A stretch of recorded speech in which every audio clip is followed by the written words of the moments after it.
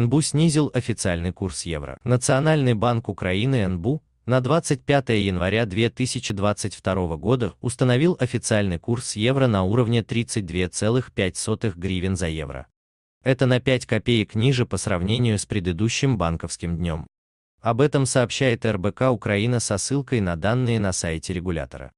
Официальный курс евро на 25 января 2022 года установлен на таком уровне 32,594 гривен за евро, минус 0,505 гривны.